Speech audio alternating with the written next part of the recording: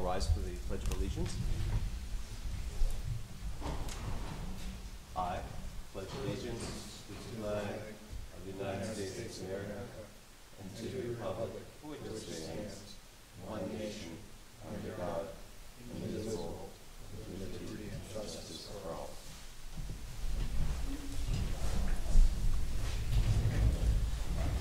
Item B is the approval of the consent agenda. I was just wanting to make sure that we're covering the, kind of the update on the um, historic preservation program from wherever you want to place that on the agenda is, is, I guess it depends on the board's questions. I mean, I I would certainly, considering the majority of the issues with that are personnel related. Okay. For executive session. okay, that'd be fine. So, okay, is there a motion to accept the uh, consent agenda as presented? So moved. All's in favor? Aye. Aye. Aye. Okay. Item number two, citizens' comments. Are there any citizens to be heard today? Any citizens? I know we have a special presentation, so that will be under new business then. Hearing none, we'll go on to item C, finance report. Okay, so included in your uh, financial packet would be the profit and loss and the balance sheet, um, which we know the, the profit and loss has not been accurate for most of the year because it's duplicating all of those. Um, We are still working with Blackbaud where they are anticipating um, everything should still be up and running for January. Um, So in there, I also included the check details, so you could see the checks that were uh, dispersed during the month of November.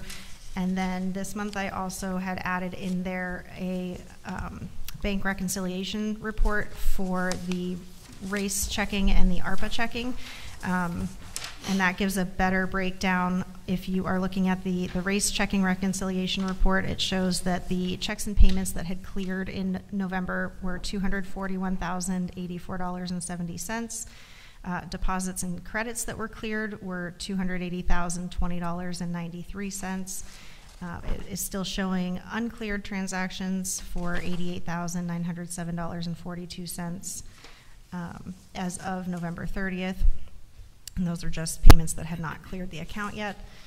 And I think that gives a little bit better picture of expenses versus um, payments received than the profit and loss report that we have there. On the ARPA checking reconciliation report, again, it just shows that the um, payments cleared for the month of November were $206,072.35. Uh, And uncleared as of November 30th were $66,969.22. Um, Primarily, those are being paid to the historic grant uh, recipients, and um, there were a few bill payments to other, um, like legal that we had to pay, and the mortgage office, they split payment with, with the ARPA funding as well.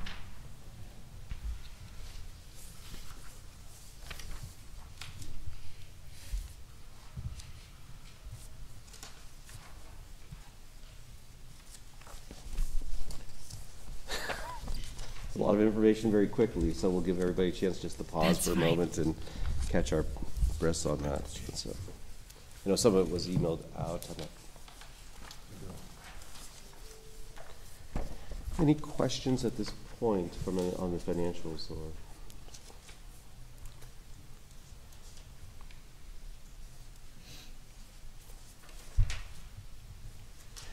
And I get, so I'm on a number of boards, so our fiscal year ends December thirty-first? Yes. Okay, fine. So we'll we be entirely up and running on Blackbaud January, starting January first then, or is that a little bit later, do you think? So. I realize that it takes a little time for the implementation, of course. They're telling us that it's supposed to be up and running for January 1st, but that's going to be for our testing, Mhm. um, an intensive testing s- period. So we have to do that as much and as quickly as possible. All of our information is going to be new in that system starting then, though, Okay. even if we aren't actually doing any transactions until maybe the middle of January, as far as like dispersing checks and things like that, so. Will you run a parallel system between the existing software and the new software then, do you think, or? Um, Can you repeat that? Uh, running parallel systems that you'll, you'll use existing software and also the new software. right? And kind of test that for a month or two. Yes, yes, Which I realize is a lot, double entry on everything, but it's it helps you perfect the yes. procedure.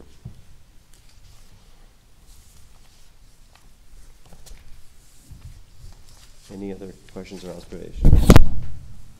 Hearing none, there's a motion to accept the uh, financial reports as presented. Is there a second? Second. All those in favor? Aye. Aye. Okay.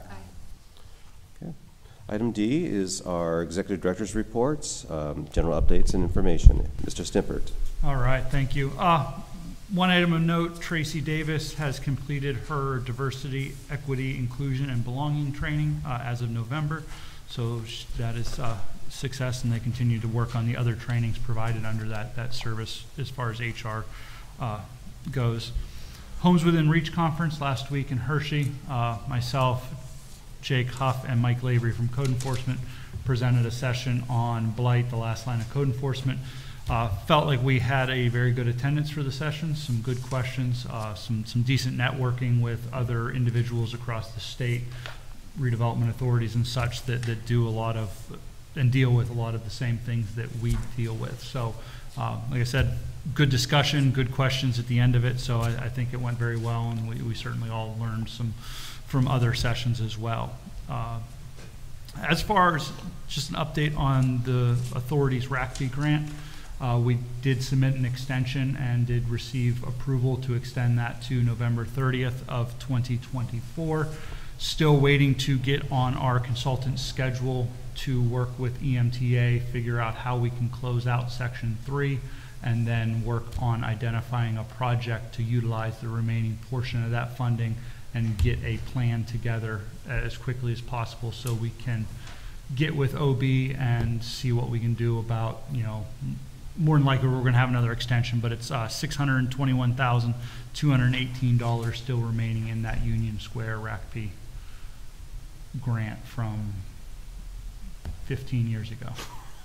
So, And I'm sorry to do this to you, but can you remind me again the, you know, what the initial intent was, the initial project and how it may have morphed? So the initial project for that was the acquisition and construction and development of the Union Square area, the townhomes. Uh, part of it was acquisition of the labor and industry building. Mhm. Uh, it was all kind of in, lumped into one big Union Square development project. And then when Fourth River had, the developer had his untimely death, and then that whole project kind of went bankrupt and into foreclosure, everything kind of stopped. We pivoted a lot of the money into the McGarvey building, uh, facade work, elevator work, and then EMTA came along and requested money for the parking garage. So we put money in toward the parking garage. There's a little bit of some, some issues there, and that's what we've got to iron out as far as there was some mill certificates and other documentation that the state was still waiting from the contractor, but there's some litigation, I guess, involved with the contractor on the EMTA project, so that has never been completed, so that's kind of where we're at right now. So we're potentially an investor into the EMTA garage. Yes. Yes. Yes, and the, the segment five, which is what EMTA is bailed on because they found other funding, uh, was the build-out of the commercial space underneath the parking garage.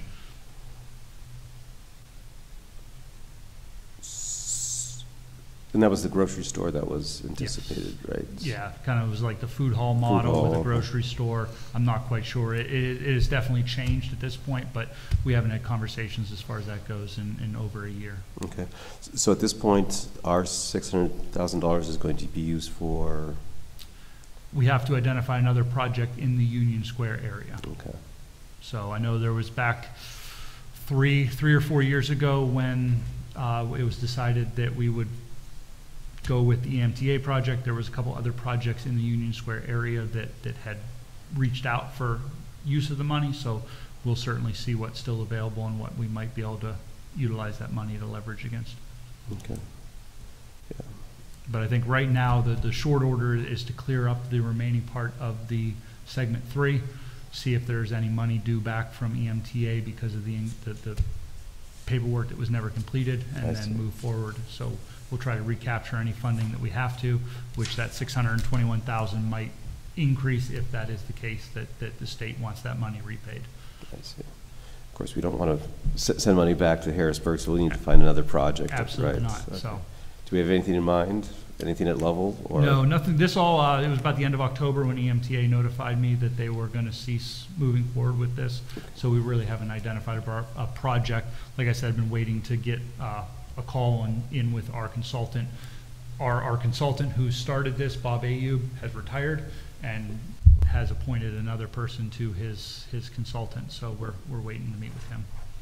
Okay. We've been doing this for 10 years, right? It's been over ten years, I know that.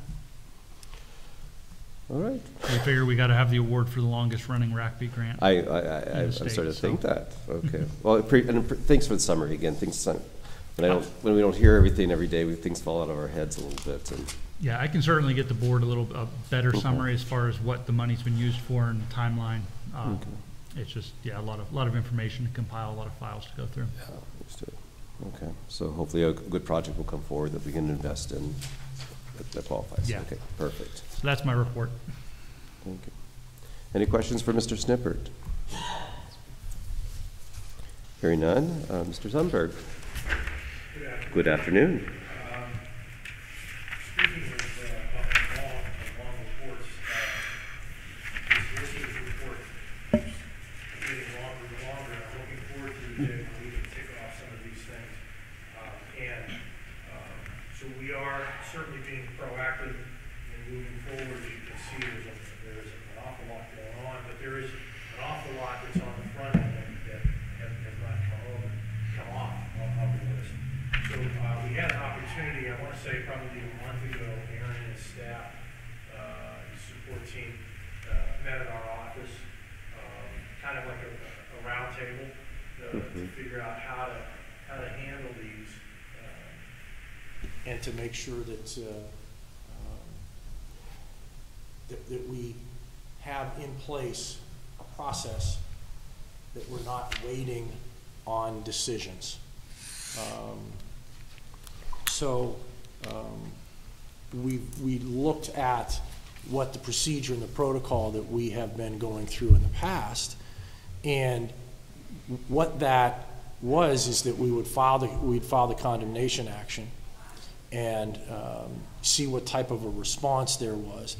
See if the property owner wanted to have a board of view appointed. If not, we didn't initiate that. We went to the valuation hearing because we're happy with what our valuation was. We're finding out that the court doesn't want to make that decision, as you can see from the report. Uh, We're waiting on thirty-plus of them. So what, looking back over the statute and getting, uh, getting some feedback from Aaron and, and his staff is that we'll file the condemnation action. If there's no response, we're gonna ask for a board of view. The county pays for that. There's board of viewers that are set each year and they're sitting there waiting to be summoned. I'm gonna start summoning them in, and, and get them to get together, review everything, have a mini hearing. Mhm. If, if that, if, if we agree with that, their decision, or if they agree with our valuation, then we're just gonna ask for a rubber stamp approval of the court, instead of having a valuation hearing, which in effect, what we were doing is we were giving the, the property owners or the homeowners a couple of bites at the apple. Yeah, That's really what, what we were doing. Again, we're taking people's property, so we're cognizant of that. But we're gonna force, we're gonna force the hand, knowing that, um, um, the court didn't wanna make that, that's fine. Um, So we roundtabled that, so we're, we're putting together a plan and a format going forward in 2024 where we can expedite these things, keep the feet uh, close to the fire instead of having to wait for an extended period of time for, uh, for decisions. Uh, So that's, that's what we roundtabled. I think we're in a good, we're in a good place. My concern was is that we don't want to run up more costs and expenses here. Why would we ask for a board of view, but it's a county i- i- it's a, it's a county expense. Now, they may, in June or July of next year, go emailing me, go, Sundberg, what are you, what are you doing? There's fifteen Board of Views scheduled in June and July. Well, yeah, that's, that's where we are. So, uh, that's the process, because we're, we're waiting on a, a number of these, which quite frankly, should have been over and done with long ago. But it is what it is, and, and we're able to, to, um, you know, to adjust to it. So that's what we're doing. Well, I certainly appreciate your efforts and moving things ahead and your leadership. I- You can't be sitting around. I mean, we're not getting any younger, so We let's. are, uh, we are, we are not, and I keep, I keep, You have be I keep honest with saying, you. I mean- I keep saying, these, these properties are not like a fine wine. They are not getting better with time. Does not get better, does not help our neighborhoods, and does No. does not help, help our communities, so. Right, we have an affirmative obligation to push these forward for the neighbors and, and and our, and our community, and it's, it's our city. So when I, when I, uh, and, and Aaron's tired of hearing me say it, is that I'll be contacted, for example, an out-of-town banker, an out-of-town owner. And I'm saying, look, this is my city. You're, you're letting this property get in this bad shape in my town. You're in Seattle, you're in Massachusetts, or wherever. Um, So I'm, I'm pushing this forward. So come on down to Erie, it's beautiful in January and February, and meet with us, and we'll take a look at the, we'll take a look at the property. And that's usually when they'll say, hey, Gene, what can we do to resolve this? All right, That works let's well. talk. We, we've been waiting for you for five years. So, thank you. You're welcome, absolutely. Anything else for our solicitor? All right, thank you so much. On to unfinished and new business. Item number one is the operating budget for calendar year 2024. All right, so I had emailed this out earlier last week. Hopefully you all had a chance to look at it and, and certainly pull out anything you would like uh, further clarification on. But I guess uh, I'll walk through a little bit. April can talk about some of it and then uh, certainly entertain any questions you may have. So uh, right on page one, I just kind of want to outline for the board what our open contracts as far as grant funds and agreements are.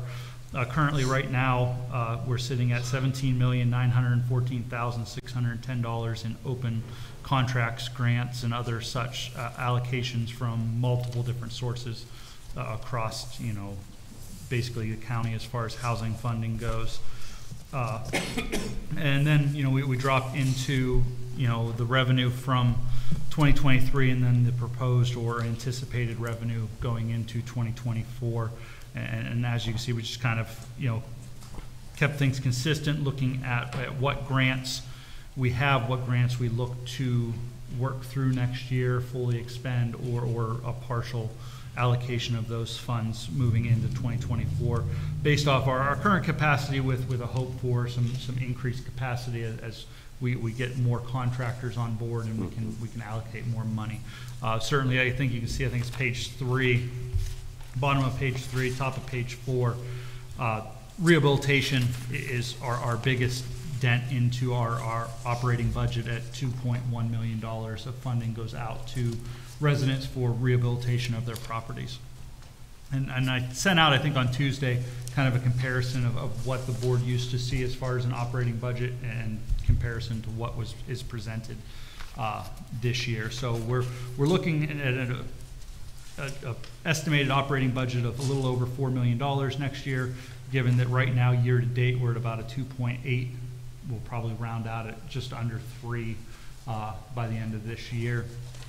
And really, just to highlight a couple of the, the big, biggest changes would be one under the rehabilitation, you know, four hundred thousand dollars in the East Bayfront Greenway Trail project. You know, certainly we look to make that project shovel-ready in early twenty twenty-four, get some, some initial phases of that project moving. So there's, there's an allocation there, along with the Healthy Homes Program, almost double in funding under that program. So, th- and then going back, I think it's page three, certainly condemnations and demolitions is another big hit to the budget as far as cost there, because we, we really, during twenty twenty-three, the expenditures out of demolition funds of, of the blight mitigation were, were minimal. We utilized a lot of the land bank and, uh, the Act one fifty-two funding for twenty twenty-three demolitions.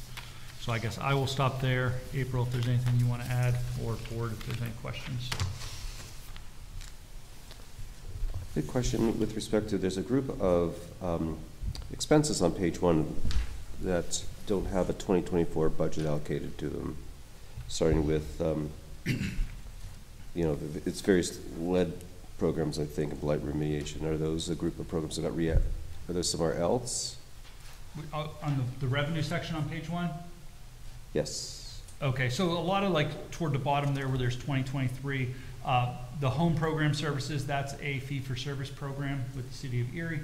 Certainly, there, there's some projects there, but there's, it's, I, I didn't want to bank on anything Okay. that was, was unknown. And a lot of the other ones are, are really a lot of fee-for-service type work that, that comes and goes. Which may or may not materialize. yeah, uh, mortgage satisfactions, we, we don't know who's gonna satisfy a mortgage early and have to pay us back, so there, there's, I, I don't, I didn't feel comfortable anticipating anything because there's, there's just a lot of unknowns. And then, uh, National Center for Healthy Housing, that was a grant. Uh, Fair was the completion of a grant from the Mhm. land bank, and of course, property sales is another one that just, you know, we, we don't really generate any revenue off of property sales, it's mostly in and then back up to the city for recoup of, uh, CDBG funds. All right. It was just blank, I just want to Yeah, make sure it no, I was enough, completely you know. understand. Do we anticipate any additional employees under payroll expenses? I do not have any anticipation Okay. for new employees. So the increases are salary adjustments and so on, okay. Yes, so the increase that you would see for anticipated 2024 includes the, the two new hires that we've had, um, and not anticipating any additional for next year. And also the increased um, health insurance cost that was just renewed for December 1st.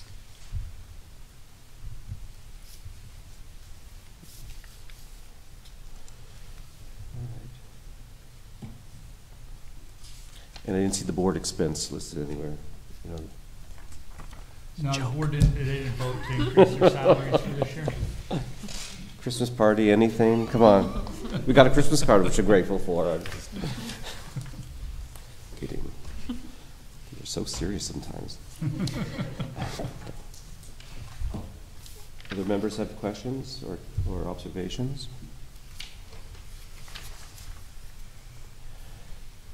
I'm assuming we're looking for a motion to accept the spending plan for next year. Is that correct? Yes, sir, that would be correct. All right. Is there a motion to accept the budget as presented? So moved. Is there a second? second? Thank you. All's in favor? Aye. Okay, great. Thank you. Thank you. Next, we're on to loan programs, item number two. Uh, I see that we have a new production, uh, and we have a presentation on Ironwork Square. Is that Ms. Benjean or Mr. Groner? Yes. We don't get visitors often, so this is kind of exciting for us. No, no. Wow. Well, we're, we're flattered, I guess. So I think most of you have been briefed, but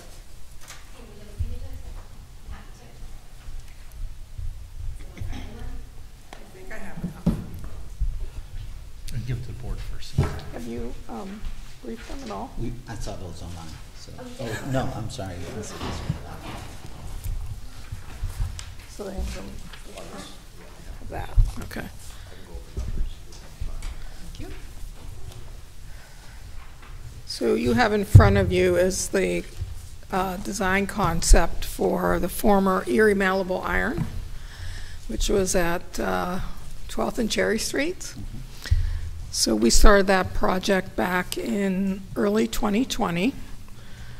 So I heard you talk earlier about blight, and um, so while you tackle the housing, we're trying to tackle the industrial blight, and this might be, other than one or two other properties, one of the biggest eyesores along uh, the city's main corridor of 12th Street. So thanks to the help from the city, um, we were able to purchase this property in 2020 for $375,000, which I like to say is 375 too much. Um, In fact, Chris and I walked into it and we looked at each other and thought, oh my, what have we done? Um, But after um, two and a half years, uh, we finished demolition this summer, and uh, it looks pretty good considering. So we are now on to what is um, going to be Ironworks Square, which is the renovation portion. So what you have in front of you is the uh, concept design for the exterior and the interior, which will be um, 80, approximately 80,000 square feet of new space. So the original building, um, before it was torn down, was actually 200,000 square feet. So we've reduced it down now to what will be about 80,000 square feet of leasable space.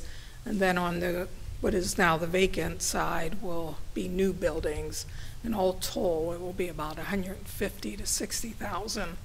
So it'll be less leasable space, but it'll be attractive, usable space versus, you know, a decaying building. So uh, we've done all of this with the support um, really led by the city and its partners. So one of the very first grants we got was from the City Land Bank to help us take down the bridge.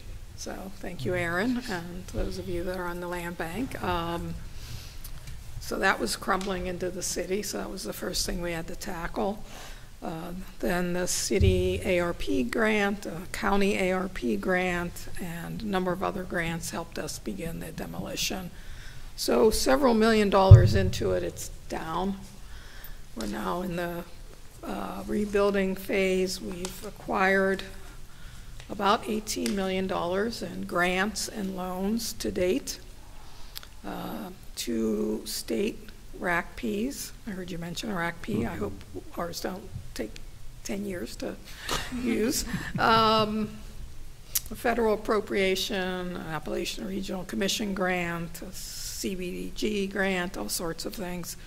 Two loans, um, got us up over $18 million. So the whole project's going to be around $22 million. So we have a gap, which is why we're here today.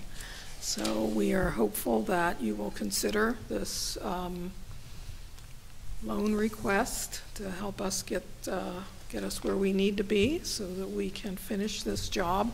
We have several grants pending in addition to what we've already secured. So we are confident that we will get where we need to go and be able to pay you back in short order. But um, this will help us get going immediately and not delay this project any further. So that is a really reduced version of the long uh, process we've been through. I'm happy to answer any questions, or Chris can answer the very technical questions on money. Questions? None? What took us so long? No, I, I had an opportunity to read all of it over, and I just think it's, um, it's a great incentive on our part uh, to begin to work on that section. As you already stated, it's a main corridor and um, an eyesore. Um, But more importantly, it's not getting any value back to the city at all. So, um, thank you for moving forward. Well, thank you. If, if we're able to do this, it's an opportunity for you and us both to, it's a win-win, we think. So, So a question more for, I think, Aaron at this point. So we're going to use funds that were in our ARP bucket to loan? Is that what we're doing? So we're- this, this Or would is be. this out of the shoebox somewhere or Right, something? this would be, yeah, I keep it in my desk drawer. In- Uh, So this would be five million of the six point eight million in revenue replacement funds that the Okay. city had given to us under agreement for our loan programs. Uh, Chris and I had had some discussions and, you know, we, I kind of uh, agree that five million would be the best for the authority. It still leaves us one point eight to roll out some of the other loan programs that we have invested so much in and are just about ready to roll out, but it still provides some of the financial need that the, the county RDA needs to, to get this project moving forward. Uh, You know, it's a four percent fix, so it certainly is right in line with where we were at with some of our other loan program interest, and it's, and then it gets us money on the street while we get those other programs up and running, and it will allow us to evaluate what the need is, and then as that money comes back in, we can have those programs ready to Absolutely. be up to full speed. So this is out of a, a bucket that's already approved for low, low, uh, it's Yeah, low it- it's out of a bucket, it's already approved for loans, it's out of a, a bank account that the money has already been sitting in for, for just about a year. Okay. So we, we have the funding to, to move on it as soon as we can get under an agreement. And not to split hairs, but, um, was, it's okay to use it for commercial, uh, it's loan as opposed to residential? So Just all of to our thi- loans have to be commercial. They all, So okay. that, that, so, a- and then, you know, I'll, I'll push it up to the city to get their approval, but this conversation started with a room full of officials from the city, so. Just want to make sure that we we weren't taking housing dollars in, in favor of commercial dollars and, you know, it's- Right, and I, th- I think the difference, is this, this money's gonna come back to the authority, Okay. it just, it, it, it gets it out doing something instead of sitting in our bank account, and it allows the authority to generate some revenue off of it, which was the, the main intent of the money all along. Because I've liked the messaging between the two organizations, in fact, that the, that the Erie County Redevelopment Authority is really commercial, you know, commercially based and so on. The Erie City Redevelopment Authority is very much, you know, housing and so on. It helps uh, our citizens understand the roles of the two organizations then and so on. Right. Just, you know, messaging, I know that our, our colleague who couldn't be here today had some messaging on, you know, our, on where the sign is and, you know, our, a little credit, you know, it doesn't hurt. Yeah, I think, you know, at this point, if we were to roll out the first two programs that we have ready to go for the loans, this money would still sit in a bank account. And, and you know, Okay. it, it, it, it's gonna serve the community better being involved in a project as pro- high profile as this project is while we work on getting this stuff up and running. And then by the time we're ready, it'll be back in our, our coffers and ready to go out to the community and the neighborhoods. All right.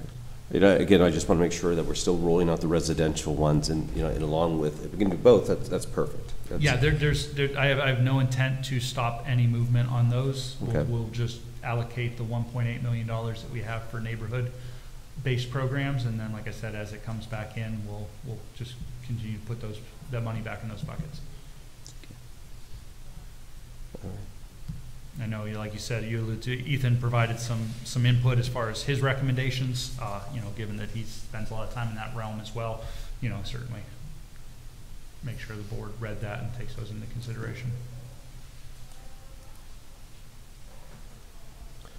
All right, is there any further questions for Ms. Mangine or Mr. Stimpert or Mr. Groner?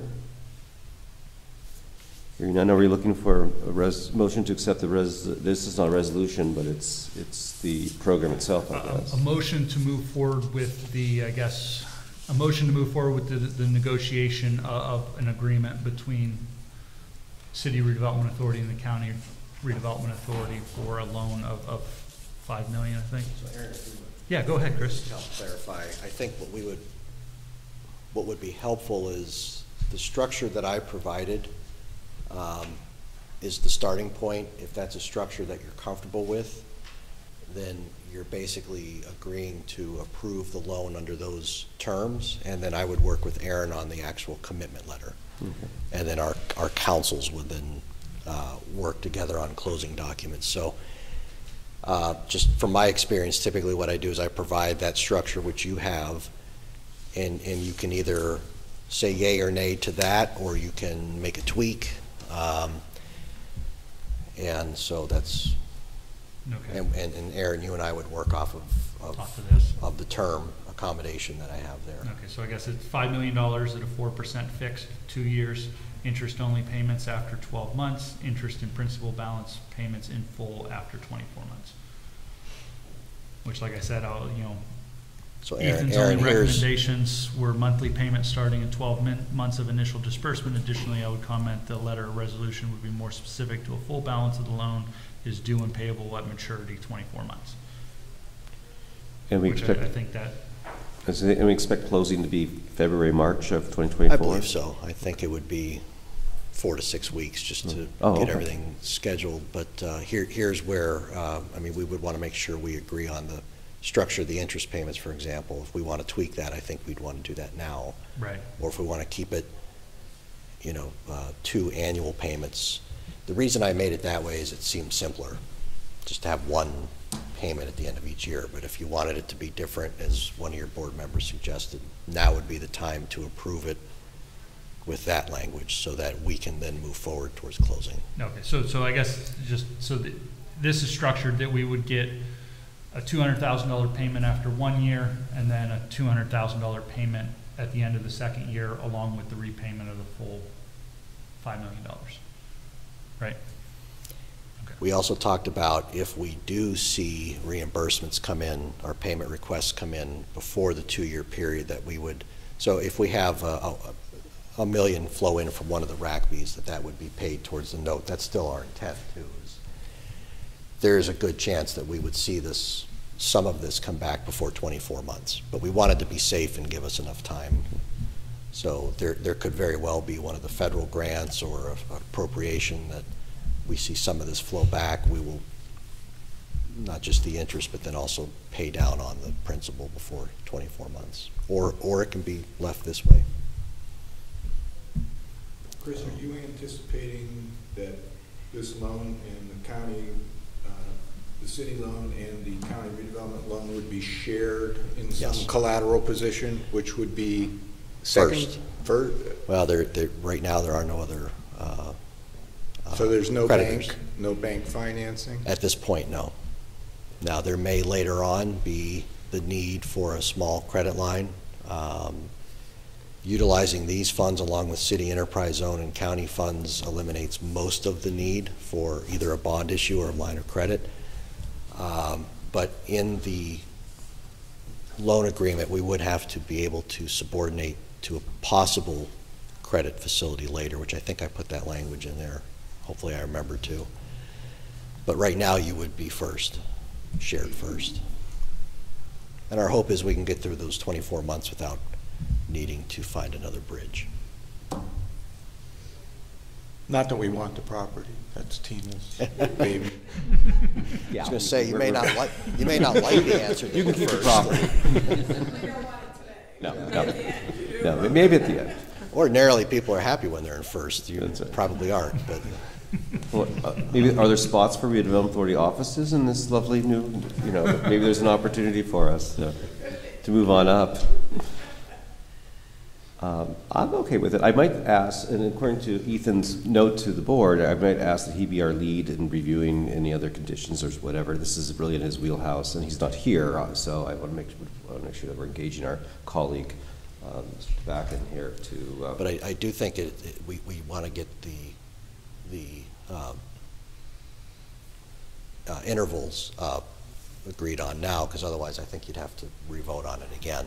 So whatever the accommodation that we think is right, we would want to, uh, whether it's annual or quarterly or monthly.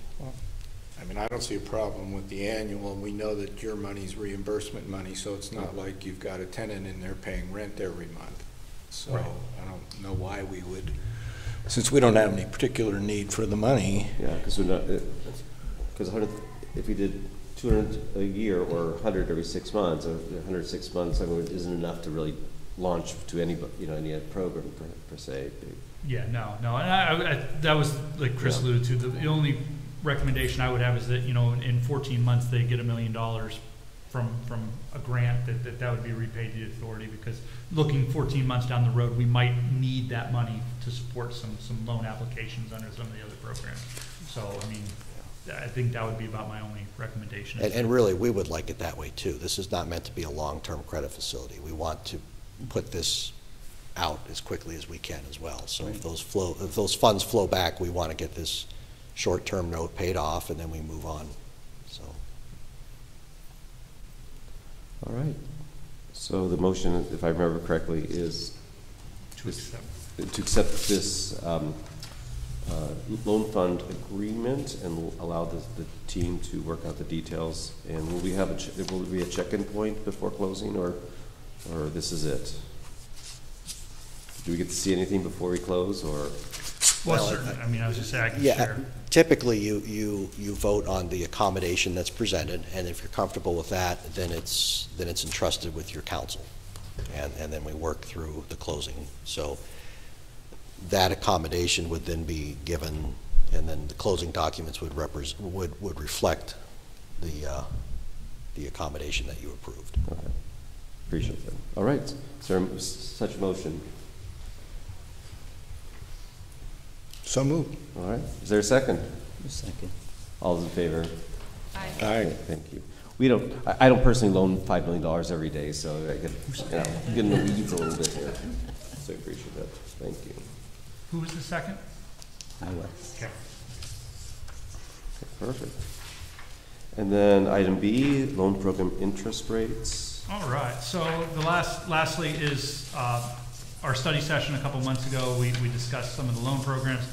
Given new production loan program was going to be the first, uh, program that we would roll out, just wanted to make some adjustments to the percentage rates of those loans, uh, just given the, the current market conditions and some of the, the starting points at which we had those was a little bit low. Uh, so I, I provided an updated, uh, term sheet for the new production loan program for the board's review and approval.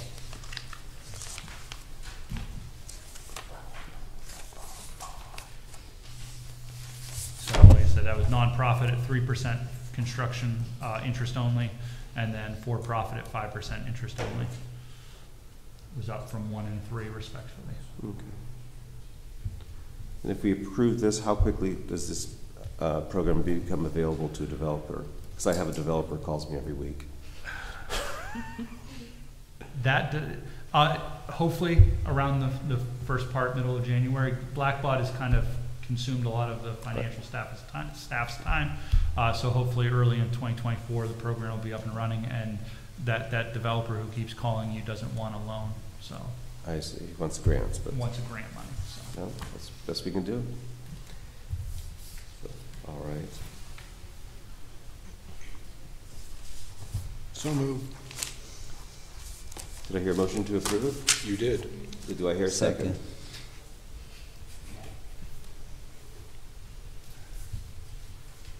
I'm not hearing a second just yet. Oh, Okay. I thought I said second. Kevin said second. it. Oh, I'm sorry. Um, all right, all those in favor? Aye. Okay, thank you. All right, so we'll adjourn into executive session, then cover the, a couple items that we had discussed earlier.